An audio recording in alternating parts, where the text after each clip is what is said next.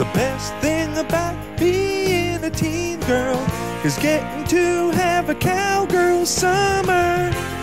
Oh, this is the Pure Boys, a Christian podcast. But God told us to change. Oh, so for the summer we're watching cowgirl flicks. Oh, get in the action, feel the attraction. Horses and teens, oh, what a dream. Oh, oh, oh, I wanna be free and free to ride some horses. Man, I feel like a cowgirl. This is our summer theme song. Yahweh! Ciao, Fudge Packers. Welcome to Pure Boys Podcast. Cowgirl Summer 2. Why not? I'm Adam and Urine. and you're in all about it because this is Steve. I am the co-host of this podcast, and I want to celebrate Cowgirl Summer just like the rest of you. Uh, but I was very chapped uh, at the beginning of today's podcast, so I, I was so like mean faced that I couldn't even enjoy or realizing that we were listening to that theme song for the first time in like a year. We're back. Yeah, What- we're back. Why don't you tell them why you were so chapped to start off Cowgirl Summer 2 colon why not? Well, I came up with the name Why Not because you wanted to get drunk while we uh, do this podcast. Not true, and, but okay. Very true. and I had kind of forgot all about it. Even though I reminded you Um, many times. Well, many times I wouldn't say that. We'll we'll go over the text. We'll We'll we'll, come back next episode. We'll we'll present our cases Mm-hmm. and we'll be friends again. the- uh, Doug Gilmour will decide Yeah. probably. We'll be friends and lovers by the next episode. Don't worry. This episode we're enemies because I'm Yeah. forcing Steve to drink a glass of wine against his will. Many glasses of wine. no.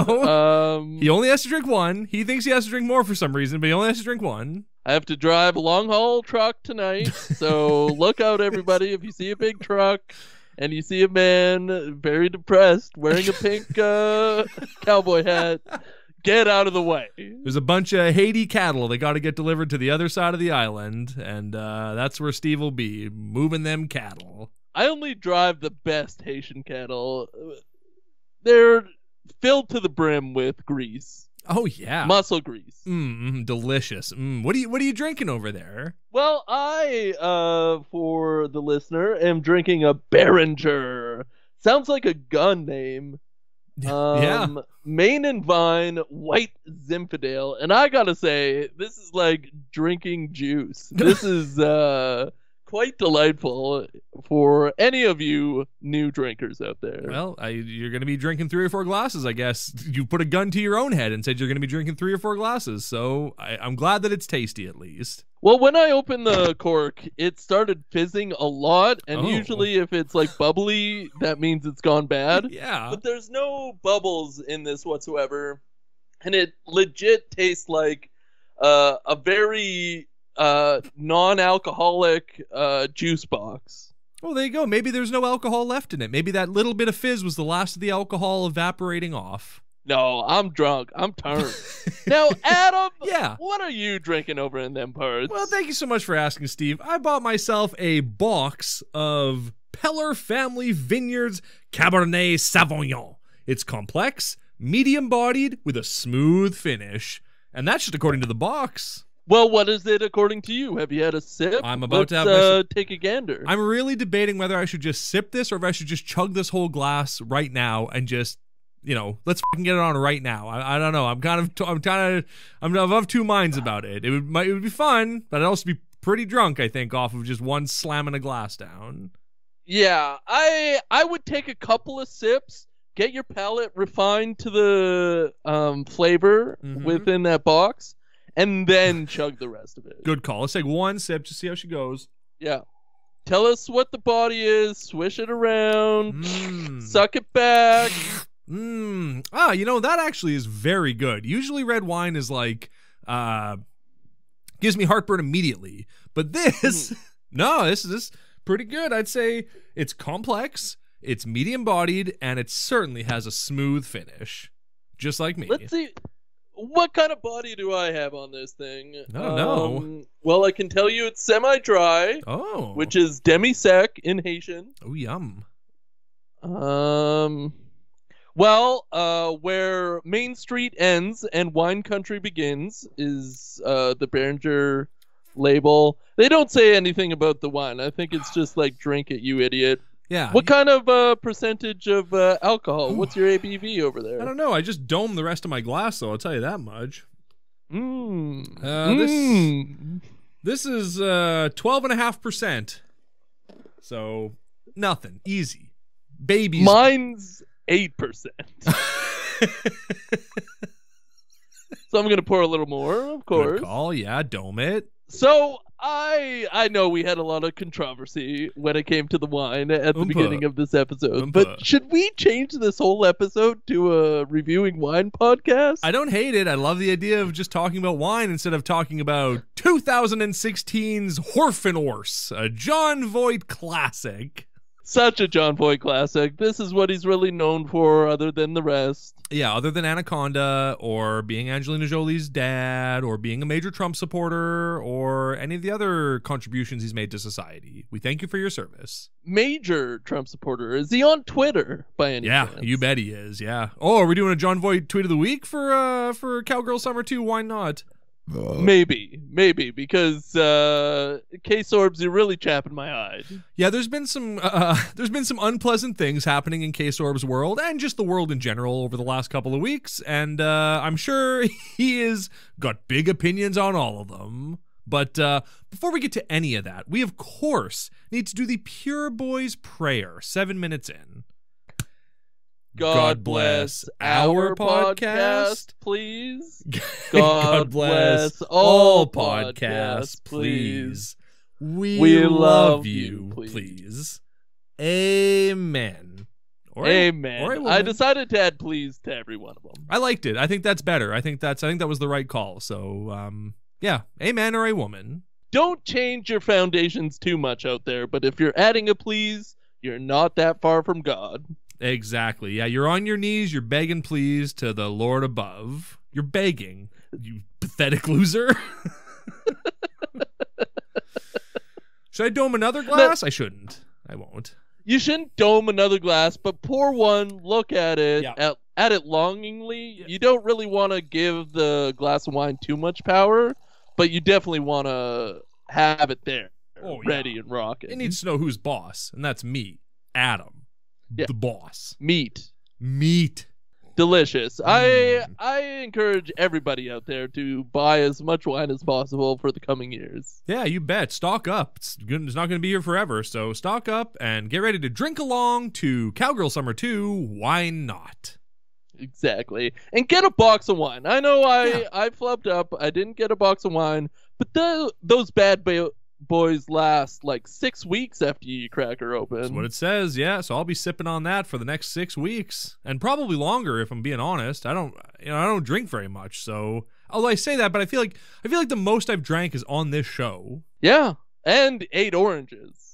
Yeah, yeah. Certainly, our claim to fame is how many oranges we domed. That's probably the thing we're best known for. Not even being a good Christian podcast. It's just a couple of guys who domed a lot of oranges. Couple of guys. A couple of guys. Uh, speaking of couple of guys, we need to answer a very important question. and that is, of course, Steve, whomst was the Bagger Vance of the Full Monty? Remember that movie we talked about like 10 weeks ago? I did. And I had a little time, so I went back to the IMDb Oh. page. And what really jumped out at me is the beautiful writing of this movie. So I have to say, Simon Beaufoy, you are our Bagger Vance of the Full Monty. Also did Slumdog and 127 Hours. What's Slumdog? Oh, Slumdog Millionaire. Yeah, million. Wow. Can you believe it? He won a million dollars. He won an Academy Award and got nominated for an Oscar for the Full Monty for writing. Really? That's Yeah. wild. That is wild. And the Full Monty actually won an Academy Award What? uh, for Best Music. what? like yeah. like like original score or like or Leave Your Hat On by Tom Jones? Uh, it says original score, but I, I think they just got it for like the music they use. There's- that has to be it. There's no way it was for the original score because the music in that movie was just like the most generic reggae, British reggae ever, and they just kept playing the same song over and over and over again. Exactly. Wowzers. Now, Adam, who do you think was the Bagger Vance of the Full Monty? Well, thank you so much for asking. Of course, it's go.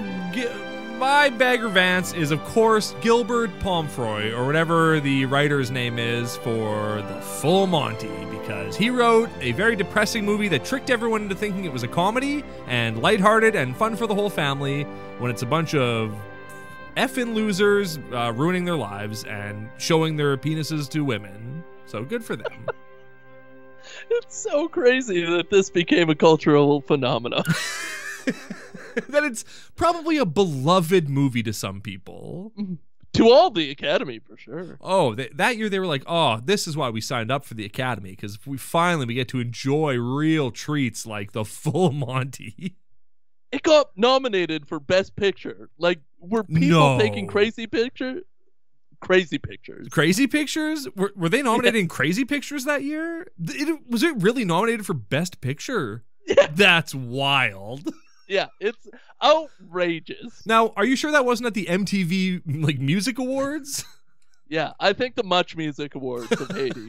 yeah, the Junos nominated it for Best Score, Yeah, and it won. best, and it won, and they got a million dollars, and everybody was happy. all those Brits. I they're making a Disney Plus series about it, and I can't wait to watch it and go like, how are they going to continue the story of the full Monty? If like if it's if it has anything to do with male stripping, I'm going to be pissed off because it shouldn't. It should just be about guy like, hey, remember that summer when we showed our penises to women that one time and they paid us ten dollars to see them? That was pretty cool. Anyway, I'm broke and my life I live in my car and my life sucks. How have you been for the last 25 years? Exactly, and like a lot of movies are comedies or tragedies or mixed in betweens, and this like sold as a comedy, but it is a pure tragedy. Oh yeah, it's yeah, it's a very sad story. So Yeah. can't wait to see Disney Plus zhuzh it up and dig it out of the gutter, dig all these actors out of the gutter, and uh, make them show their penises to us again. Give us what you got. Yeah, leave your hat on.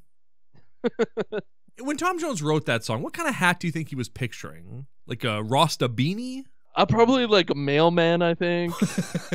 sure. Yeah, an aviator helmet that a pilot would wear with goggles. all the famous hats. All he probably encapsulated all of them. Yeah, a pink mesh cowboy hat. I'll be leaving my hat on for this podcast. Yeah.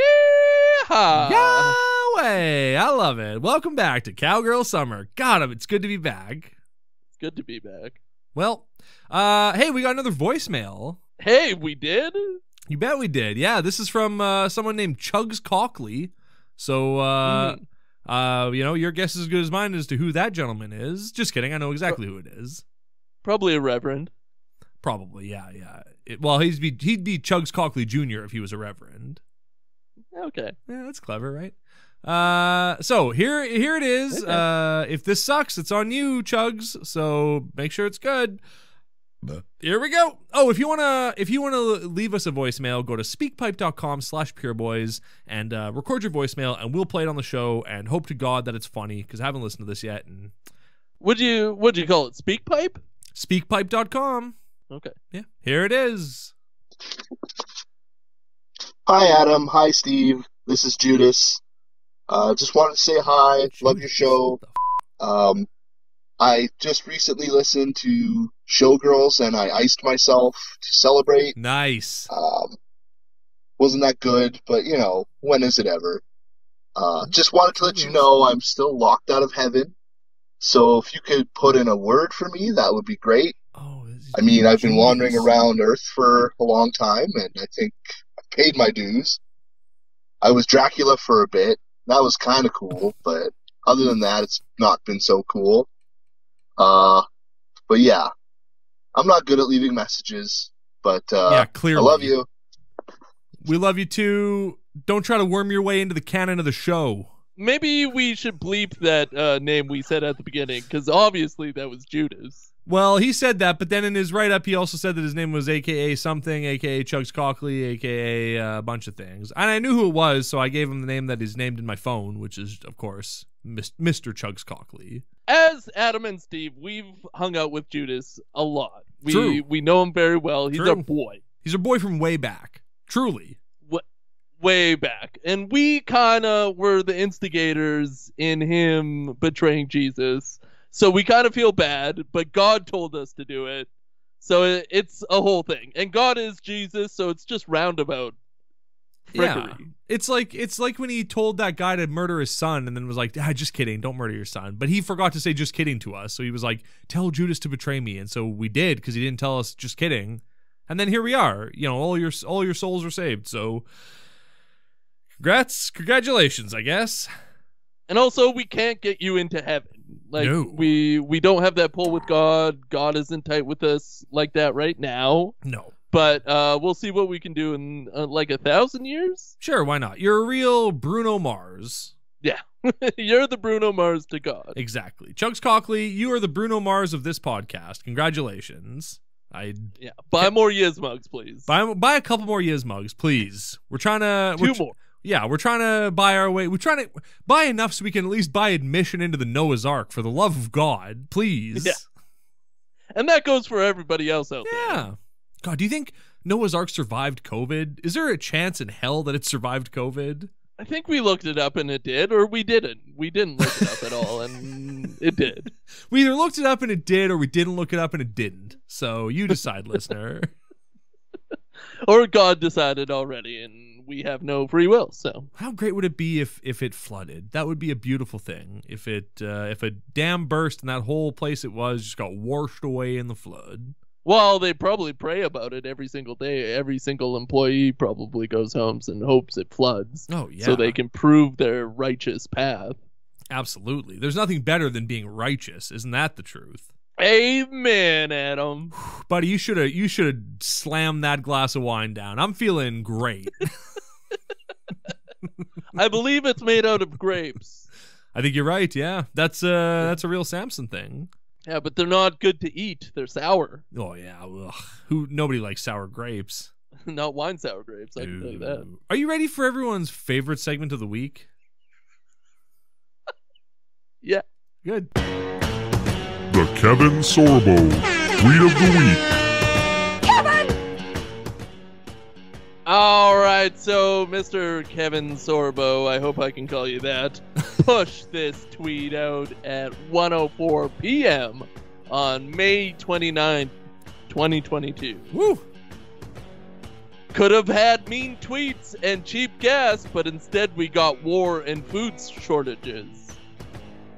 I don't know what he I don't know what he means.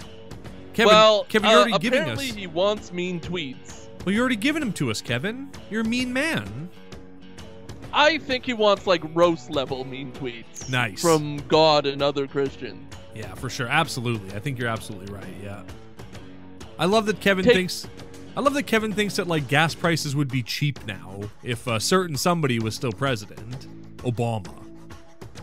Well, they do have that big button. It's very stylized. It's very uh, bright, and uh, they can choose what the gas price is at any given day. Oh yeah. So he is right about the cheap gas prices, but the mean tweets, I don't know where he's coming from. no, Obama was always very nice when he tweeted. It just I, I don't I don't recall him ever like taking the piss out of somebody in his tweets. Yeah, me either. But uh, rest in pieces, Kevin Sorbo. Uh, I hope the food makes it your way. Ah, truly. I hope that uh, your stomach issues calm down and you have dumps before you have lunch. I hope breakfast and coffee move through you a little quicker, much like the Holy Spirit, and uh, you're able to tweet a little bit earlier in the day. What do you think? He's like a multigrain toast, dry with like black coffee kind of guy, or do you think he likes a croissant with a frappuccino, No, that's Alfredo? That's California stuff. A cappuccino with Alfredo. That doesn't Yeah. sound. That sounds right up Kevin's alley, actually. it was a little joke, but it might be what he has. I think it's probably. I mean, based on how infrequent and odd his dumps are, yeah, he's probably putting a little bit of Alfredo sauce in his coffee. Listeners out there, if you put Alfredo sauce in your coffee, please leave us a voicemail Yes. at speakeasy.com slash jizz. Perfect. Kevin. Kevin. Uh, Kevin. Uh, I, I can't believe it took us that long to put that into the show, to put that into the theme song. It's it's a, it's such a no brainer. It just, but you know, the show is evolving. Unlike unlike everything else on this planet, which was made perfectly by God, the theme song is evolving, and that's just you know, Darwin was right about theme songs, and that's it. Dinosaur bones are there as a joke. Yeah. It's very funny. It's it's hilarious. I love going to museums and just laughing my arse off at the dinosaur bones and be like, they think this is look at how they put this together. They think this thing's real. They, they think it swam in the ocean. What a clown. And all those libtards standing there and believing every word of it. It's it's really funny. Any all paleontologists, all archaeologists, uh, well, even archaeologists who study ancient cultures, they're all libtard cucks, all of them. And uh, I'll take that to the grave. I hope they're in heaven, but they're in like a little corral, and you could just like point at all the paleontologists throughout history Mhm. and laugh at them at their stupidity. Where are all the dinosaurs in heaven, dumb idiots? James Horner, where are all the dinosaurs? And do they have feathers? Oh, I don't know. I love that the devil like started sprinkling that in. That it was like dinosaurs were tyrant lizards, and then after a while he was like, "But maybe they had feathers. I'm gonna bury a couple feathery dinosaurs just to mess with people, make them think that they turned into birds." Dumb idiots. Just a couple. Just a couple, not too many. We we haven't found too many. No ankylosauruses with uh, feathers, so how can you even prove it? I you couldn't even prove it. Uh, but what I hope to prove one day is that you don't need to have an episode of a podcast without actually talking about the thing you're there to talk about, and only have special uh, segments. That's a great call. Yeah. One day maybe we'll achieve that goal. Also, I'd like to apologize to James Horner. Uh, he was a composer. He wasn't a paleontologist, but he is dead. Uh, I don't know. I think I just like spitballed that name. I don't think that's I don't think I actually knew. I think I just got lucky with the name James Horner.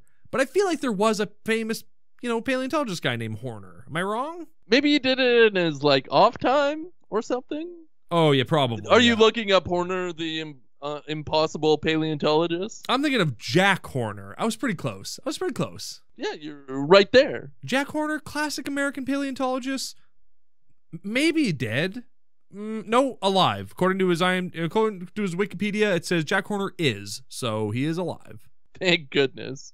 I uh I would have rolled over in my uh, existential grave. Can you imagine? James Horner died. He goes up to heaven. They put him in the crowd with all the paleontologists and go, "Where are all the dinosaurs, James?" And he's like, "I no, I, I was a composer. I composed composed film scores." And they go, "Yeah, sure you did. Where are the feathers on your on your archaeological digs?" There's a lot of name mistakes in heaven and in hell. Like Oh, people yeah. get swip swapped all the Oh, time. yeah. Uh, it would be a, a laugh if it wasn't so depressing. Well, that's why so many people name their kids crazy things now, just to like so that there's no mix-ups and they ensure that they're going to the correct place, be it heaven or hell. If you deserve to be in hell, then you should be in hell properly, even if your name is spelt like with I don't know numbers and like you know dollar signs and stuff. Oh yeah.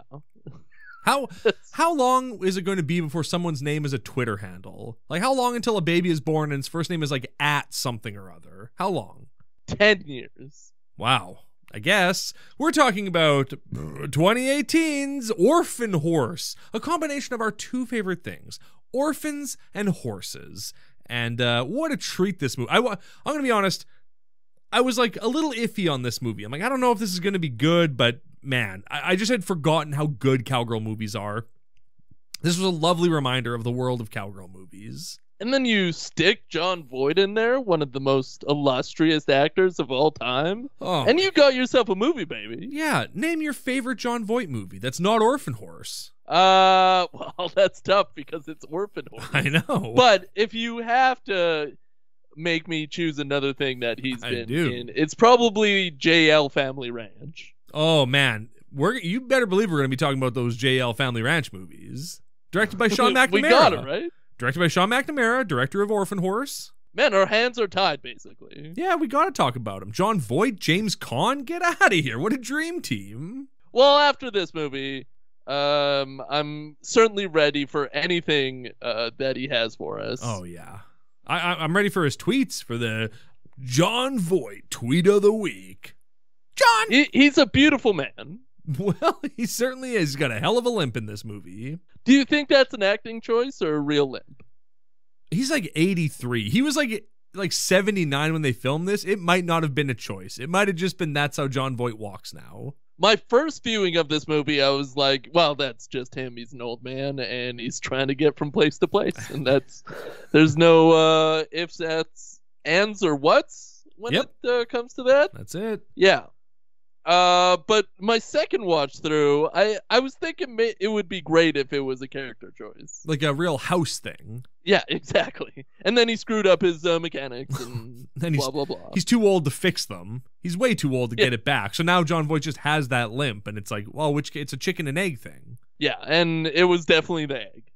Absolutely, that's what came first. Absolutely. What's your most favorite movie by Mr. Jon Voight? Oh well, you didn't uh, put any caveats on that, so I got to say, Orphan Horse. I loved me some Orphan Horse. It was great, and he's great in it. Although his crying at the end is not very good, but everything else he does is great. Uh, that was probably first day jitters. They usually do like the last scene at the beginning of their filming, so he probably was just like shaking in his little booties. Yeah, and it's just to remind everyone that, like, don't worry, this movie has a happy ending. Don't worry. Yeah, I know we're gonna go through some strife as we film, but we're gonna film the ending first, so you know it all works out in the end. It's all good. Exactly. Yeah, you you have to calm down the actors because they're really worried they don't get the last uh, page of the script. Mm-hmm. They're much like you know, like orphan horses. They just are skittish and a little like they miss their mommies, and they're a little scared of like the changes around them. And you gotta like just assure them that there's gonna be a soft landing no matter what happens. I was uh,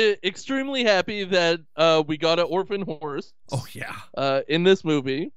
Uh, I was also extremely happy to get an orphan child mm-hmm. because the uh, combination of the two is what Cowgirl Summer is all about.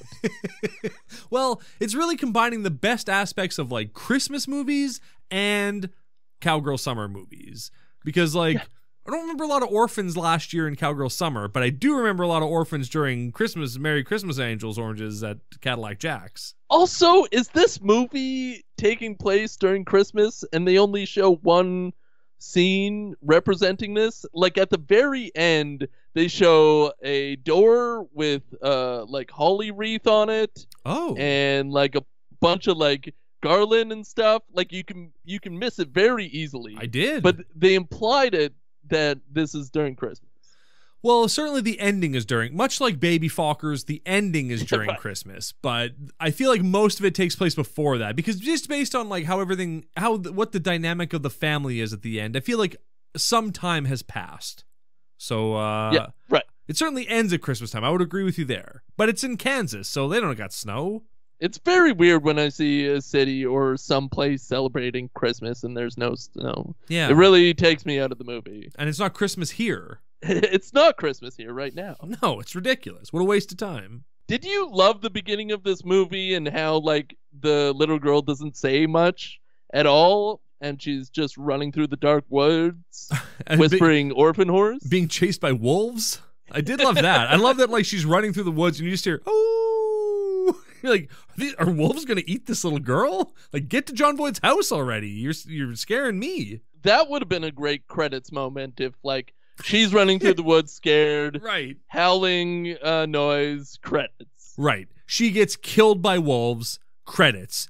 After the credits, a new orphan is running through the woods and makes it to John Boyd's house in one piece, and he he gets to deliver.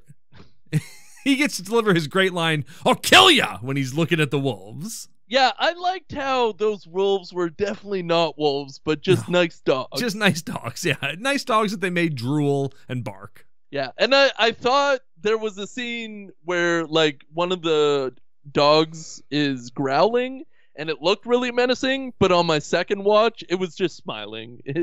they cut to it so quickly and then cut away. Right. Uh, yeah, it's just having a good time. there was a hand rubbing it behind the ears. It was just having a great. Its tail was wagging, and they're like, "Look at this dangerous wolf." There is one scene where you spot a trainer in the field. Really? I Uh, did not clock Did that. Did you pick that up? No, I didn't. Uh, when uh, Orphan, the orphan horse, Orphan horse. uh, comes back and it's sunset, there is a lady just squatting behind the fence, and you can see her as clear as anything.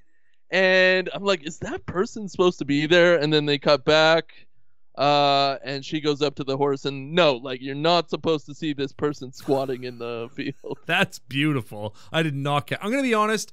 The first half of this movie did not really grab me. I was on my phone a lot for the first half. Second half though, I was locked in. But the first half, it took it took me a little while to get into it. I'm just rusty. Uh, I'm cowgirl summer rusty. I just got to get back into the groove. It it really starts off with a slow roll. Like there's barely any um dialogue in the first eight minutes of this film. Oh yeah. and then it's like her meeting up with John Vo- Yeah. old man Jon Voight and then getting to know each other and who cares Yeah, I did not like this little girl's character at all in this movie. I thought she was Really? like insufferable. Yeah, when he's like when because Jon Voight like ends up taking her in for a little while, and he's like, "Do you want a sandwich? I can make you a turkey or or ham." And she goes, "I'm vegan." I'm like, "You're ten years old. Eat what you're given. You're not vegan. You're ten. Wow you would agree with a lot of uh, Kevin Sorbo's recent tweets then Oh no! Oh, I can't have that. I take it all back. No, be vegan. Live your life the way you want to. Enjoy that. Animal welfare is important, and I support it. there we go Yeah. You I believe famously like smart intelligent uh like kid characters though right I do, but I don't. I didn't like this one. I thought this one was annoying more than anything else. But also because Jon Voight is just like, kid, you don't understand how the world works, and she's like, no, I get it. I get it. I'm an orphan. I get it. My mom's been dead for six weeks. I get it. I understand. It's like you don't know anything, little girl. she knows a thing or two uh about losing a mom in uh bed well, that's not a euphemism. She loses her mom in bed, and then like for some reason, when the coroner comes, they just let her watch them zip her up in a bag, which seems like very heartless. Like someone should have covered her eyes or averted her gaze or something. emergency services are just doing their jobs. They just want to get in there, bag and tag, and then get home for uh, Monday night uh, baseball game. You know, They walk in and they go, "Ah, another dead woman. Bag them and tag them. Let's get out of here." Oh, a ten-year-old the girl. kid's in to see this. It's never clear what her what her, the deal is with her mom. She's got chapped lips, and that's all we really know about her her issues. I I think that the scene where they flash back and show her writhing in pain in the bed is very funny.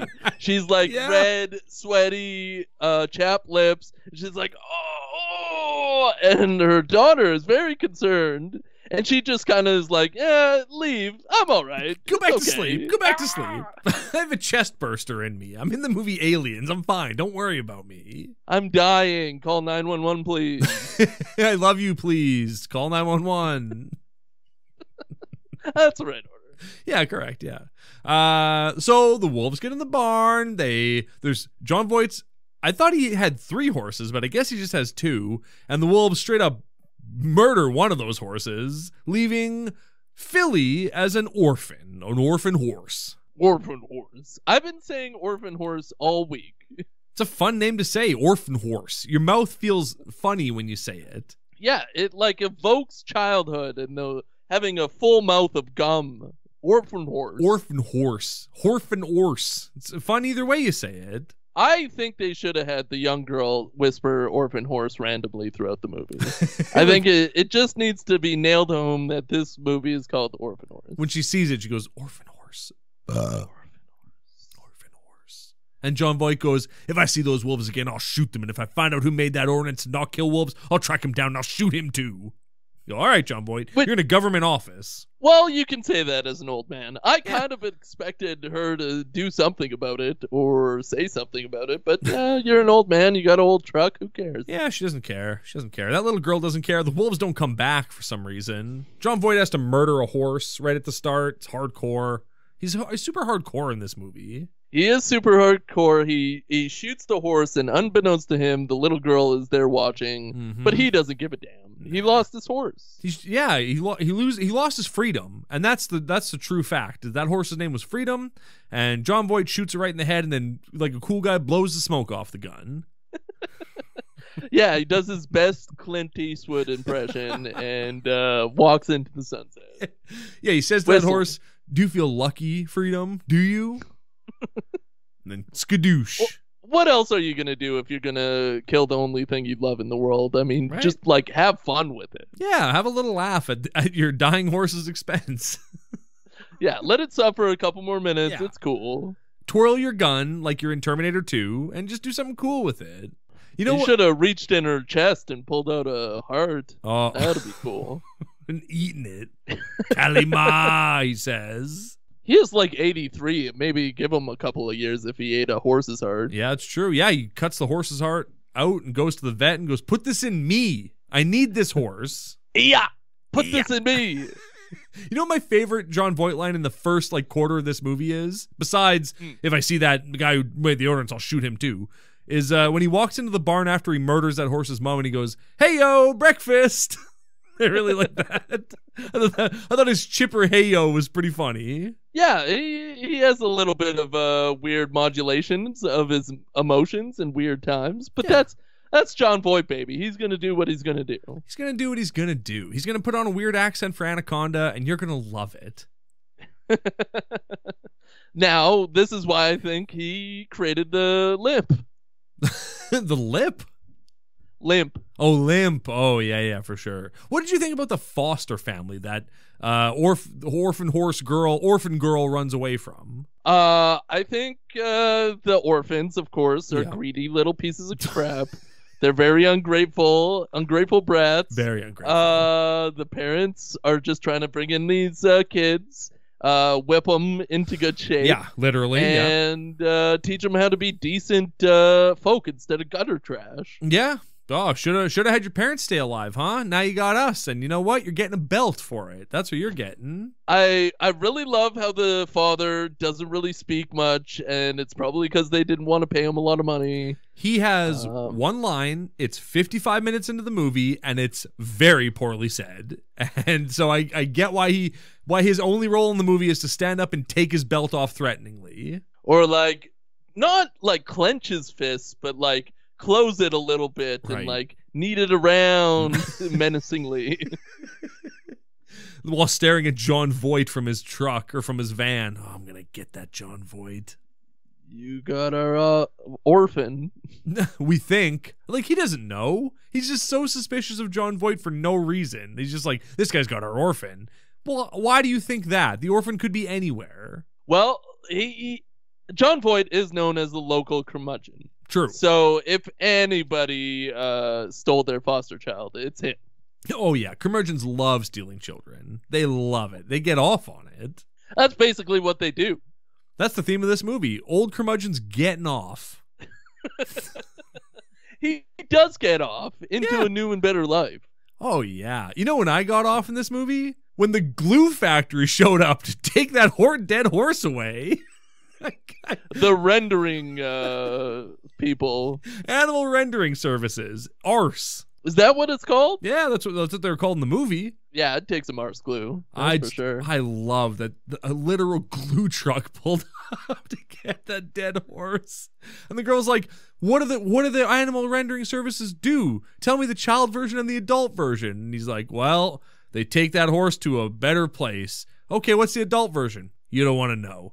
All right, good enough then. Thank you. She doesn't want to know. It's a horrible thing to know at uh, that age, but she did see her mother die, so she's probably strong as hell. Right, she's probably wondering if her mother got rendered down into glue, if they turned her mom into glue. they zipped her up in the same bag. She's asking about the horse, but what she's really asking Yeah. is what happened when they took my mother away. Oh, yeah. Did they turn her into glue? Am I using it right now to make you macaroni art? I hope not. Why aren't we turning humans into glue? We got nails. We got hair. It's the same thing as hooves. Turn me into glue when I die. Thank you. Thank you for being brave enough to say it. What is that? What makes a horse's glue so gluey? Is the nails and the hair and the dead uh, Horse? keratin? Maybe, yeah. I honestly, I don't know what part of the horse be- is the best glue. I don't know where the where the prime glue parts of a horse are, but I'm going to assume it's hooves that you boil down and fat and uh Yeah, that's a good assumption. I think. what do horses have that we don't have? Hooves. So therefore, if you could turn only horses get made into glue. Yeah. Cows, they don't boil them down into glue. Maybe they should. They got hooves. Do they turn zebras into glue? Mm, There's- good question. Great question. What about mules? That's half horse. That's there's pl- there's a bunch of glue going to waste when a mule dies. Honestly, we shouldn't be turning horses into glue. We should just Oh. be getting mules and donkeys and turning them into glue. Well- they're dumb. Well, yeah, yeah, they have nothing to contribute to society. But I also think we should we should be turning more things into glue, including hmm. leave horses. They're a great baseline. Keep them in in the world of glue, and then add donkeys and mules and zebras and giraffes and uh, uh, other bulls. The fact that we started with horses, the most like helpful animal to humankind, is absolutely crazy. We should have started with the uh, giraffes of the world, mooses. Yeah, deer. Oh yeah, elk, bison. There's so many. There's so much great glue out there that's not being rendered from dead animals. Yes, please.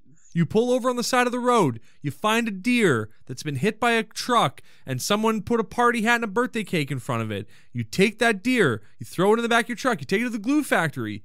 You got glue for life. Are there glue fa- factories around? There must be. Well, there's animal rendering, sir. There's a bunch of arse, I'll tell you that much. Yeah, but like, are they pocketed throughout the landscape like grain elevators?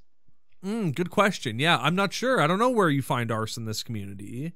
You, Or do you have to like find a central location where ours is like taken over? Right. Do all do all orphan horses get shipped to Kentucky where they're turned into glue? This movie takes place in Kentucky, not Kansas. I I mentioned I said that earlier. I was wrong, and I apologize. Eh, all the K uh, states are the same. Exactly. Well, I, even in my mind, oof, even my even in my mind, I'm like, this movie takes place in Kansas, but all the all the license plates say KY on them. What the hell kind of initials is that for a place? And then I realized, oh, it's Kentucky. It's uh, Glue Central. Yeah, they bleed blue in Kentucky. Oh, exactly. Rather, rather red than dead. Rather glue than not glue. Blue.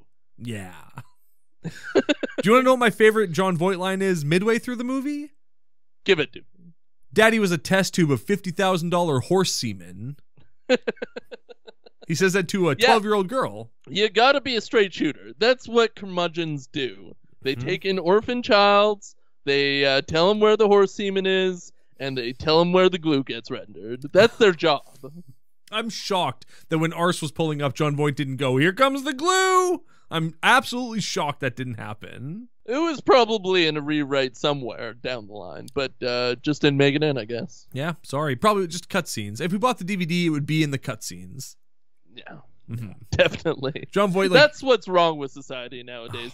We don't have enough uh, DVD cutscenes. yeah, and like director's commentary. I, want commentary on the Full Monty from Academy Award winning musical director Tom Jones. It is weird to me that we like none of the streaming services have offered those commentaries on anything. It's wild. Or like an audio file. It's uh, weird how that was a thing on DVDs for so long and then it's out of here. I used to listen to those all the time. I loved those. When I was a lonely, depressed teenager, oh, I would just l- listen to those and watch movies I'd seen a million times and just go, ah, I wish I had friends. Yeah, here comes the glue. Here comes the glue. Oh, yeah, watching Resident Evil, listen to Michelle Rodriguez, just S talking Milla Jovovich. It was great. Wow, you said those names really well. Thanks, man. Um, feeling good. I'm looking good. How's that wine treating you, by the way? It's great. I'm feeling a little buzz. I'm, I'm, uh, why not? Why not? Why not? I don't have any wine. I should pour some wine for some more wine knots. mm-hmm. Well, looks like my wife's driving tonight. Heck yeah, buddy. She can drive. She's, she's able. The, the law lets her drive nowadays. Yeah, now. Now, yeah, we've certainly been to uh, a couple of baseball games this summer, and it's been great.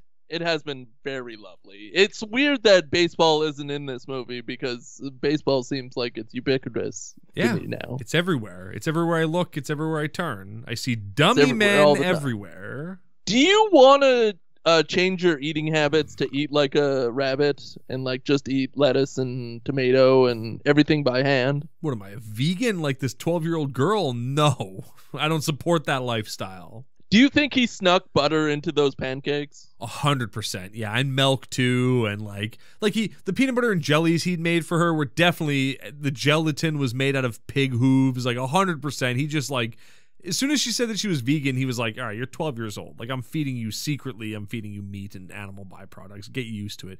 Do you want honey?" And she'd be like, "Yeah, I don't care." And he'd go, "Yeah, stupid. It, that's an animal byproduct. You're not legally allowed to have that as a vegan." Yeah, and then pours the honey all over her head. Mm-hmm. Then sends her out for the bears to get her. Yeah. Eat stevia, you idiot. Yeah, get stevia honey. Did you notice that Jon Voight's TV is perpetually stuck in the 50s? Yeah, he probably has the 50s channel or TNT, Turner Broadcasting Network. Every channel on his TV is 50s. When we first see his TV and he turns it on and starts changing the channels, he watches like a 1930s Superman cartoon, the movie Godzilla, and then like a black and white BS show that I've never seen before. I have no idea what it is, but it's clearly from the 50s. What, where do you get your stations from in Kentucky, my man? Uh, from I don't know, the internet. He he probably has that hooked up to the internet and Yeah. it's like just watching a YouTube clip. Yeah, that's all it is. It's just like uh, ASMR of 1950s, flipping the channels on 1950s televisions. exactly. He got his uh grandson to do it. Oh, he doesn't have a grandson. Rest in peace to Jon Voight's child, but not to Carolyn. No, Caroline, the um, what do you call those people that take care of kids that are fostered? Well, Caroline, she's the reason for the word bitch. Bitch. I felt like Caroline and her uh, lover, Jake. uh, Sheriff the Jake. police officer, Sheriff Jake, yeah. as, like straight out of a Hallmark movie. They Oh, yeah. they just act like it. Their lines read like it, and their storyline is just Hallmark movie. the the wrap up of their storyline is 100% Hallmark where it's just like why don't hey I know that our relationship is on the rocks why don't we adopt four orphans and he's like yeah skadoosh I'm into that yes Well, you have to wrap up all the storylines, and yes, they're not married, but they've been together for a long uh, period years. of time. three years Uh, but she hates commitment, but only because she has daddy issues. But that gets all wrapped up in the end, so why not adopt four children? yeah because spoiler alert Jon Voight's her daddy Yeah, which you like kind of know halfway through this movie, and you should just be that should just be revealed because by the time it's revealed at the end of the movie, you're like, yeah, and? Yeah as soon as you see the flashback of his daughter with the big mole on her lip you go well there's only other one other woman in this movie with a big mole on her lip. I wonder if they're somehow connected. And yeah sure enough daughter. Sure enough, daughter, I I said the same thing when uh you saw the mole.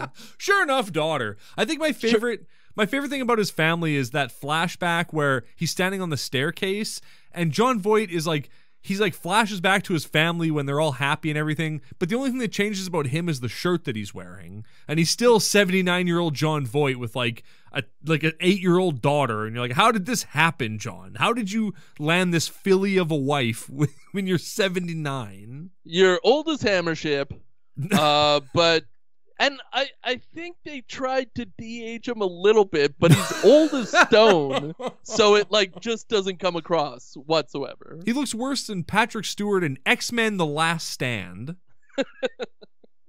Yeah, but not as sexual. No, God, no, he doesn't get blown up like Patrick Stewart in X Men: The Last Stand. Yeah, we got to watch that this week, uh, this summer too, for sure. I mentioned it enough times. Yep, that's all it takes.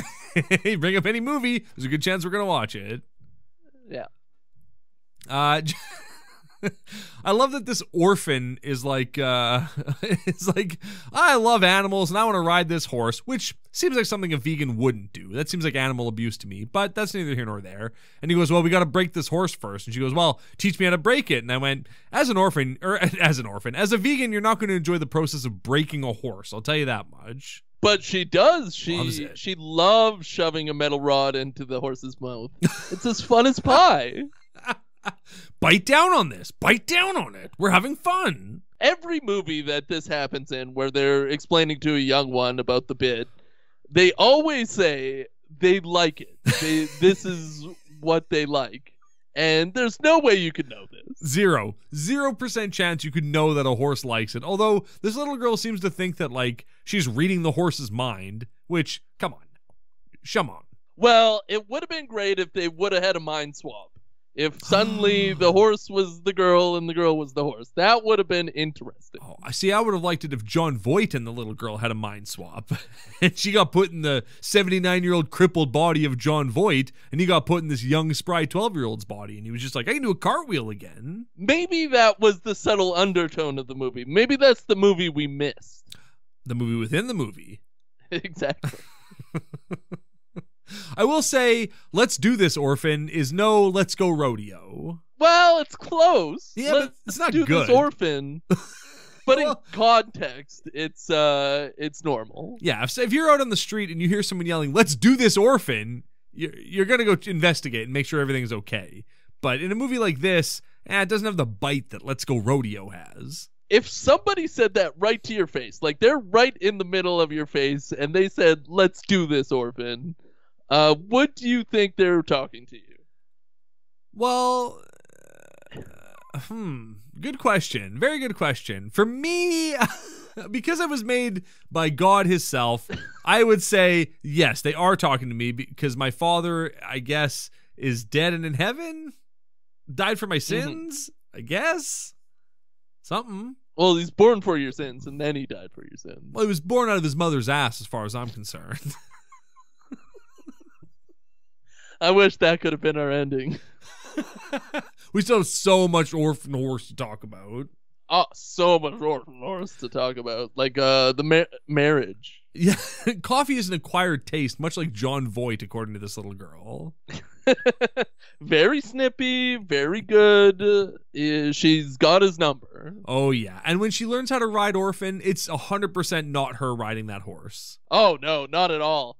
When they show her at the end with the green screen and the sunset, oh, that's really bad. It's so bad, and like a garbage bag on a stick, they keep popping up to make it look like the horse's head.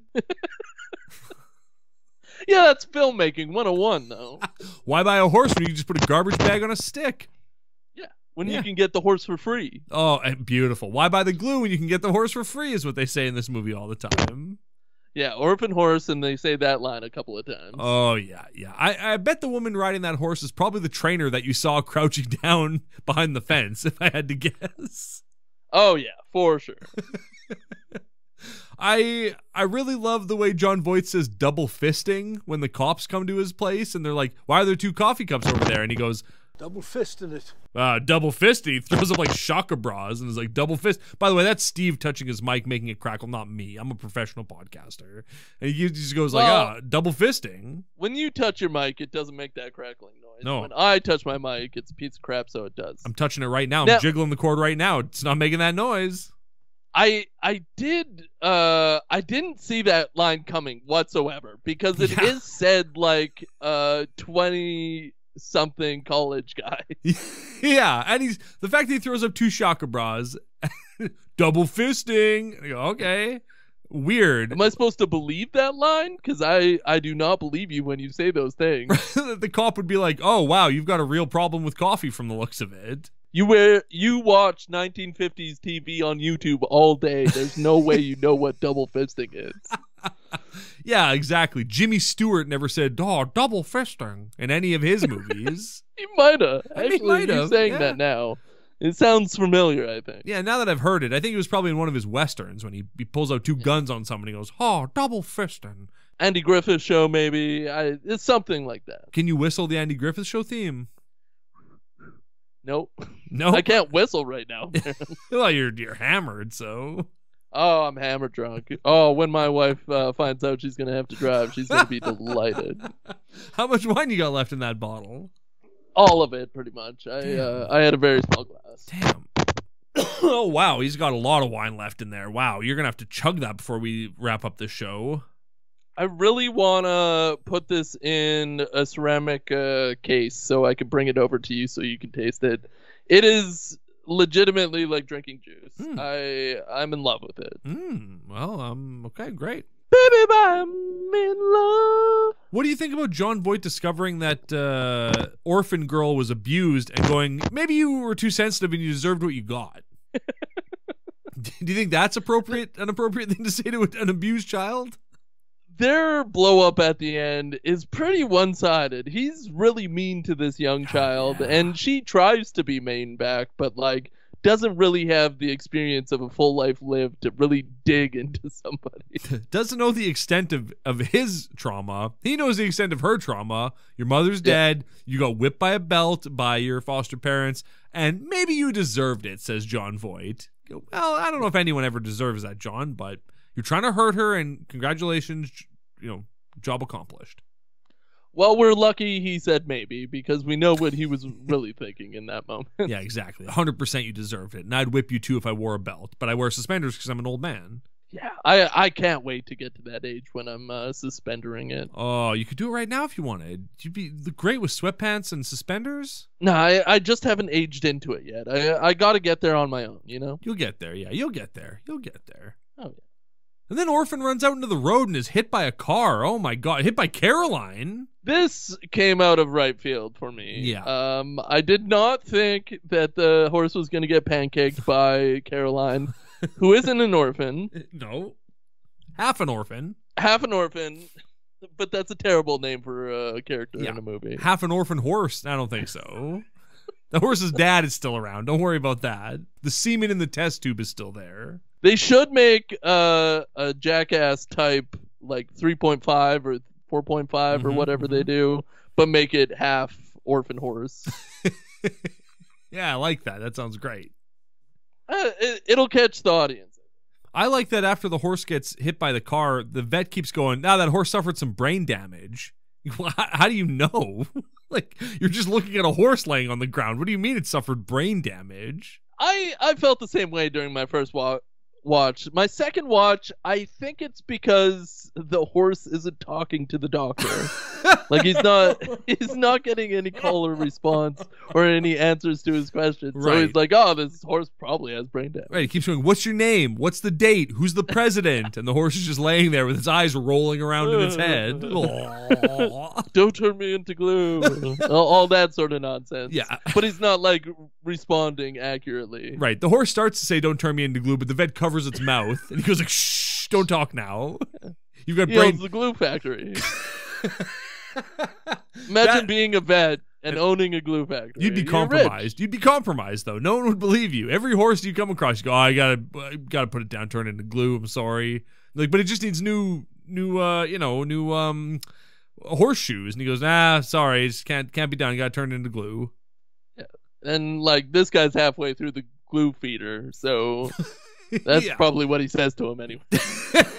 when the vet shows up, he goes, "Oh, this guy looks like he's halfway through the glue feeder." And they go, "Please, he just he got hit by a car. He's got brain damage. Leave him. Just save my horse, please." You put your name incorrectly or spell it incorrectly on a couple of receipts. Nobody's any of the wiser that you own a glue factory and are a vet. Yeah, you you spell your name wrong on the vet's form, and people are gonna think that you belong in the glue factory. See, that's the one I'd probably write the name on correctly, and the glue factory would be a different name. Good call. Yeah, absolutely. I put Jon Voight on the glue factory and Adam on the vet form. Perfect. I I think in my next life I'm definitely gonna do that. Do you know what my favorite Jon Voight line is in the in the final chunk of this movie? What's that?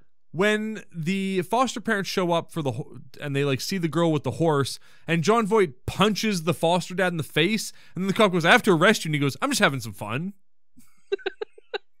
Are you sure he said that?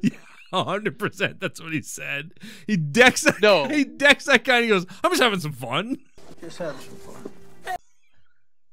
It's- No. yeah I'll put I'll put a clip in it's so funny Cause like I was probably just laughing so hard because when he punches that man, it's very funny. oh yeah and he shatters his hand you know he gets a boxer's fracture because he's got osteoporosis They probably had to give him a boxing glove to actually do the punch, and then they like cut it out in post. Right. It was a blue boxing glove, and then they had to like Yeah.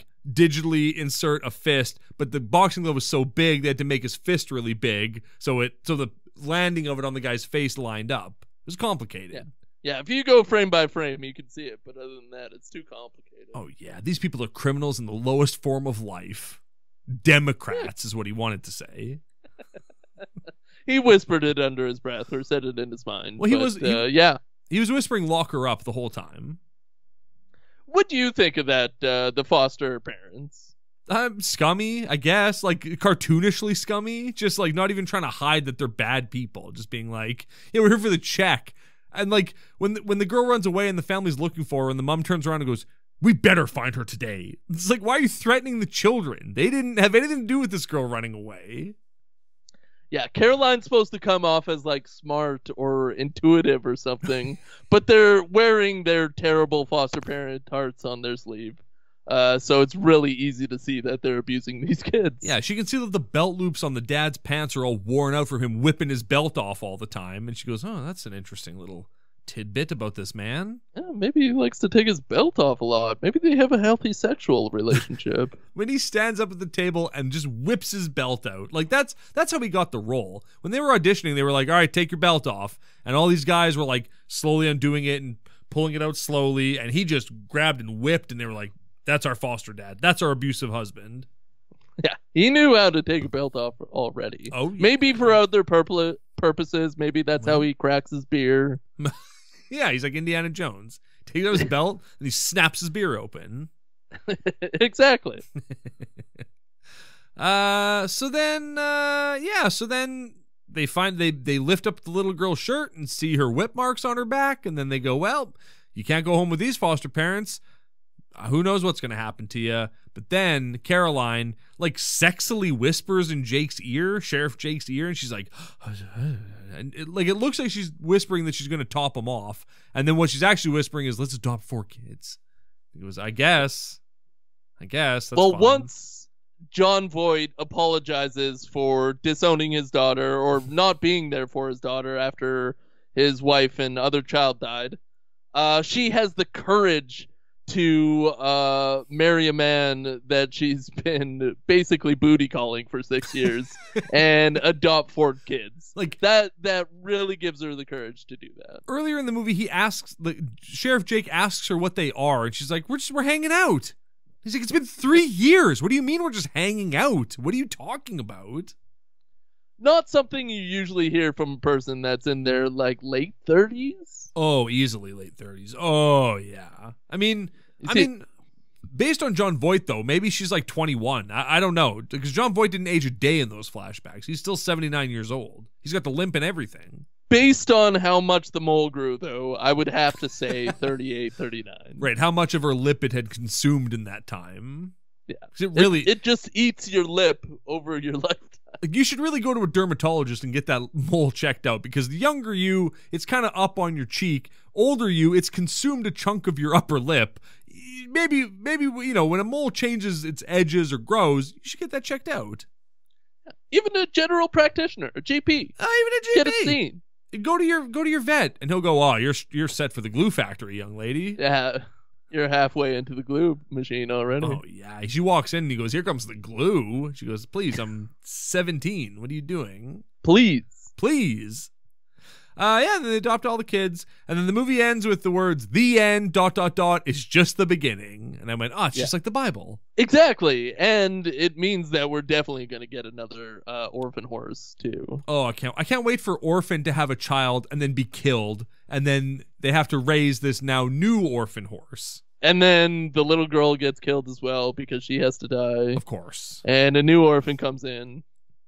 Yeah, a new cooler orphan who like smokes cigarettes and has a leather jacket and is very cool. Yeah, has a jazzy haircut. yeah, exactly. Yeah, as a pompadour. Perfect. It writes itself. Steve, what did you think of Orphan Horse 2018? Well, well, Steve, uh, this one was a complicated one. Hmm. I I really enjoyed this movie Hmm. uh, because I was actually brought into the relationship between Jon Voight and the little girl. I think Jon Voight is a legitimately good actor, disagree. and although he he stumbles and fumbles throughout the movie, I believe his character, I believe their relationship, and I like watching them. However, on the other side, this is definitely a um, made for TV movie type quality production.